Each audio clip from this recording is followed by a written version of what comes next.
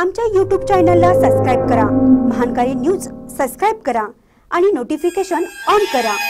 Notification on केल्यामुळे आमचे update आपल्यापर्यंत सतत पोहोचेल. गोकाकमध्ये भाजप अध्यक्ष अमित शहांचा रोड शो. गोकाक मतदार क्षेत्र भयमुक्त करण्याचे आवाहन. भाजपचे राष्ट्रीय अध्यक्ष अमित शहा यांनी निवडणूक प्रसारात सहभाग घेताना गोकाकमध्ये रोड शो केला. कर्नाटकात होणाऱ्या विधानसभा निवडणुकीच्या प्रचाराला आता रंग येऊ लागला आहे.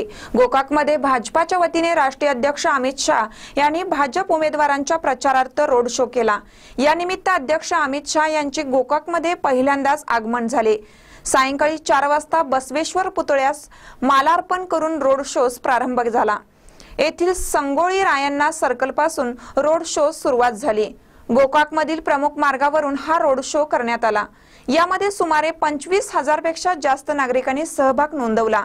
रोड शो दरम्यान भाजपाचे राष्ट्रीय अध्यक्ष अमित शहा यांनी गोकाक मतक्षेत्र भयमुक्त करण्याचे मतदारांना आवाहन केले. यावेळी माजी मुख्यमंत्री येडियुराप्पा लक्ष्मण सौदी भालचंद्र जारकीहोळी सुरेश अंगडी आदींसह भाजपाचे अनेक नेते आणि पदाधिकारी उपस्थित होते. महानकर न्यूजसाठी गोकाकहून पद्मराज चौगले.